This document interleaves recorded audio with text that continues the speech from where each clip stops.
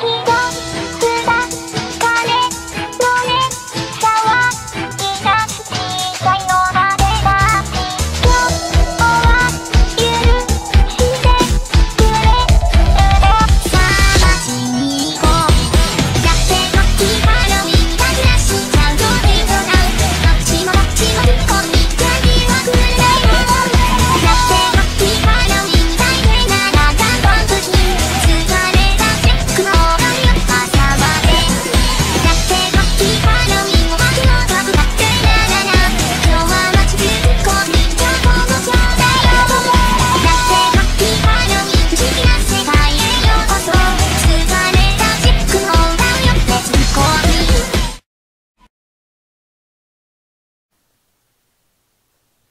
You know what, Maddie?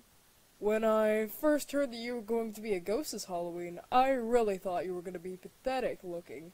But now that I see you now, you actually pull off the ghost costume pretty well. I'm actually quite proud of you. Oh, well, why thank you, Henry. That's really sweet of you. Also, speaking about the ghost costume, how did you manage to do the glowing white eyes without using your powers? Oh, right. I used this bucket of paint. Maddie, you put paint on your eyes.